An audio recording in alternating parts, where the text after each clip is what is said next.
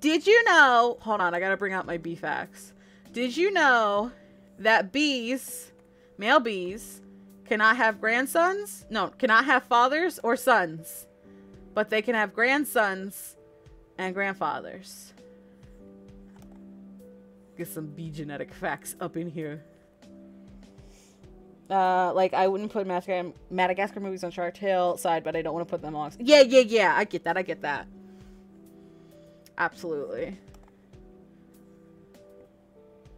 Okay, okay. So let me let me explain bee genetics for you because I looked this up once when I was thinking about bee movie.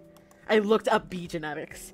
Did you know that male bee genetics explode after sex? I'm not surprised. Okay, so let me explain how bees work. Okay, so okay, we'll make a chart. Okay, so there's three kinds of bees. There's dude bees, which are what's the dude symbol? That. And then there's girl bees. It's like this. And then there's girl bees who are also queens. Oops, I can draw a crown. Right? Okay. Okay. so, the way bee copulation works is a male bee has sex with the queen and they have it once. And then she stores all this bee sperm that she'll ever use in her life in like a special sack inside of herself. And whenever she wants to um have female babies, she will release that sperm. Because when a queen bee has a baby, if it's not fertilized, it becomes a girl bee. But if it is fertile, so if there's a spermie, and if it isn't fertilized, it becomes a boy bee. Right? Right? Sperm sac, yeah. So, so, okay. So that means that this boy bee does not have a dad. It doesn't have a dad. Dads are hats, right? Because if it had a dad, it would become a girl bee because it would have had sperm, right? So, but okay, so say this bee, this bee, now he grew up, and he did the he did the diddle with a queen bee, right? So she would have a baby, right?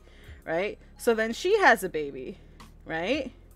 So she has a baby and she has let's say she'll have one of each so she has a girl bee so sperm so that's his sperm right so that's his daughter right and then she has mom bee queen bee has a boy bee right but that's not his son because if it was his son it doesn't have none of his dna so it's all her dna but but so, let's say she becomes a queen, right? Um, mom didn't say had sex that I lost a sock. I'm sorry. So, so this guy's daughter becomes a queen, and then she finds a new boy bee to have relations with, right? So then she has a daughter and a son, right? So she has another daughter and a son. So this one's the spermy one, right? So again, not related in any way. These two, no, right? But this guy had a daughter, right? And her his daughter had a, a, a son.